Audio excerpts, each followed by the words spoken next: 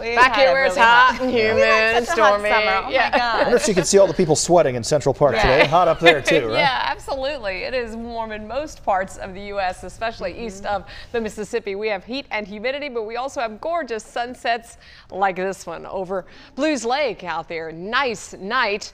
Yeah, a little bit muggy, right? No, a whole lot muggy. And that's what we've got for you. And that's what you're going to wake up to tomorrow morning. Did you notice the moon out there tonight? It's not technically full, but I'll give it close enough. It is full at 829 tomorrow morning, and you'll be able to see it rising uh, tomorrow evening as well and setting there Friday morning. The high out there this afternoon is up to 89 degrees. So we didn't quite make it to 90, but boy, it felt like it was in the mid to upper 90s when you added in all that humid air. We had heat index values in the triple digits in places like Martinsville and Burlington earlier today. Current temperatures are in the upper 70s and low 80s from Burlington to Winston-Salem. And yes, those dew points are way up there. This is beach air, only without the waves, without the sand, without, yeah, some of the other things. We've got miserable, we'll call it comfort cast for you. It's going to stay really muggy. Now, there is a front that's going to slowly work its way to the east. It could get a touch less humid if you're on the northwestern side of this in the coming days. So we're going to kind of follow this and just see how far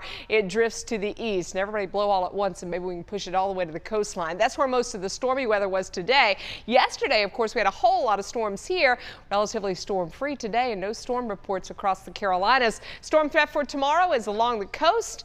And then for Friday, even less storm activity expected. Tomorrow morning, a few patchy clouds. Temperatures are warm and it is humid. They'll be in the low 70s. It'll be a little bit cooler in the mountains in the mid 60s.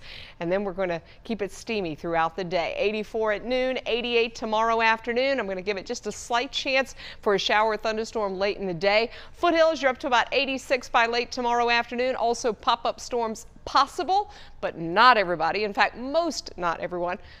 Most of you will not. Let's see if I can get my grammar right. Have any storms tomorrow. 83 tomorrow afternoon in the mountains. And you can notice that there are a couple of areas of low pressure on this front, so that does kind of slow it down. That's why we do expect it to spend some time between us and the coast over the next several days, and that includes the weekend. So the closer we are to that boundary, better chance for storms. I think we'll see a few tomorrow, although most of them will be along the coast. Into Friday morning, it's a quiet start, and then by Friday afternoon, I think we're able to nudge it just a little bit farther east. It's possible we could be a little bit less humid on Friday.